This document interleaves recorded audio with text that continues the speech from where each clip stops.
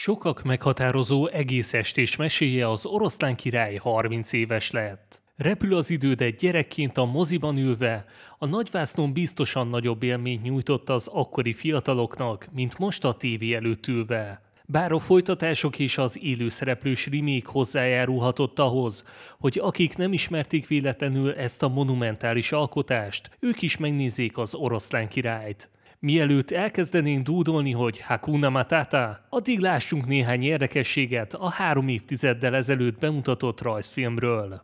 Amennyiben eredeti hangsávval nézzük a számszerűsítve 32. egész estés Disney mesét, akkor Darth Vader hangját adó James Earl Jones hangján szólal meg Mufasa. A munkálatok kezdetén olyan neveket kerestek fel, mint Liam Neeson, valamint Sean Connery. A büszke birtok királya hazánkban Sinkovics Imre, a DVD változaton pedig egy jelenet erejéig Vas Gábor hangján szólal meg.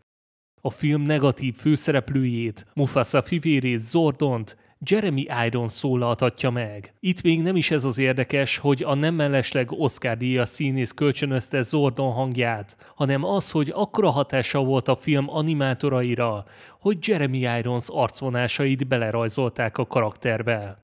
Ha már szóba kerültek az animátorok, a munkájukat segítve élő oroszlánokat és szarvassűrű madarakat vittek be a stúdióba, voltak akik Afrikába is elutaztak inspirációért. Ezt tették annak érdekében, hogy testközelből vizsgálhassák az állatok mozgását.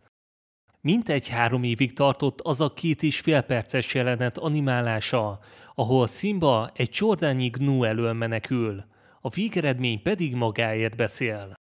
A projekt sokáig a Dzsungel királya címen futott.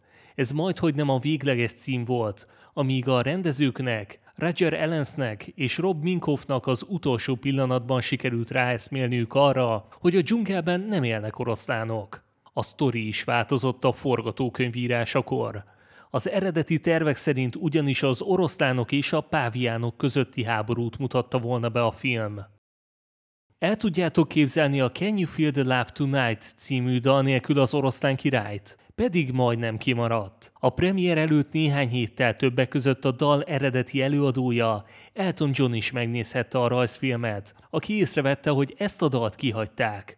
Ezt az ő kérésére visszatették, de közel húszszor írták át a szövegét, mire végleges formát öltött, és akkora sikere lett, hogy 1995-ben ez a betétdal Oscar díjat kapott. Néhány karakter nevének szuahéli nyelven jelentése van. A Simba oroszlánt, a Pumba lustát, a Nala ajándékot, a Rafiki pedig barátot jelent. Egy érdekes rekorddal is büszkélkedhet az oroszlán király. Pumba, a közkedvelt és komikus varacskos disznó, a Szurikáta Timon barátja volt ugyanis a legelső Disney karakter, amely a vásznon púzott, és nem is egyszer. A készítők tagadják azt a plegykát, hogy az oroszlán király története az 1960-as években készült Kimba a Fehér Oroszlán című animációs sorozatból merít. Az oroszlán királyt és a Pocahontas-t egy időben készítették az alkotók. Az előbbit másodlagos projektnek tekintették a Pocahontas mögött. A Disney legtöbb munkatársa inkább ezt részesítette előnyben, mivel úgy vélték, hogy a végül egy évvel később bemutatott film lesz a sikeresebb a kettő közül. Végül az oroszlán király sokkal több pozitív visszajelzést kapott, és sokkal nagyobb bevételt ért el. Világviszonylatban a harmadik legtöbb bevételt hozó nem CGI animációs film a mai napig. A Hófehérke tartotta a rekordot 55 évig, utána jött az Aladdin és az Oroszlán király. 2003-ban jött a Nemo nyomában, aminek több lett a bevétele, viszont ez az első mese, ami CGI animációs. A Hófehérke és az Aladdin után a harmadik legtöbb bevételt hozó nem CGI animációs mese ezáltal az oroszlán király. Írjátok meg kommentben, hogy nektek milyen emléketek van a 30 évvel ezelőtt bemutatott oroszlán királlyal kapcsolatban.